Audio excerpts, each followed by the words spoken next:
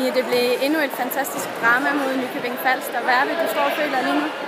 Jamen, øh, jeg er bare glad, at vi har fået to point, og så er jeg egentlig ligeglad med, hvor meget vi har vundet med. Vi har vundet med en, og det, det var det vigtigste, og kampen var ikke særlig køn, men øh, vi har fået to point, og vi er blevet i ligaen, og det var vores mål.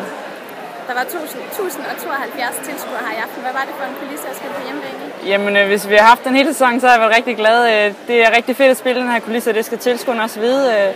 Vi har brug for den opbakning i hver kamp, lige meget hvad modstanderne er, og det gør det endnu mere fedt at komme til kamp og vide, at der kommer så mange mennesker, og det håber også, at kommer fremadrettet. Øhm, og så er det bare fedt, at det er en tæt kamp, og bolden ryger ud på siden her og der, og vi smider den væk, og Nykøbing smider den væk, men øh, vi står med de to point, og så øh, tror jeg, at vi er lidt mere glade end de andre er. Mia, du er en meget seriøs pige med din træning, men skal du have en enkelt i aften? Ja, eller to, det kan da vist godt komme ned, selvom det står på arbejde i morgen.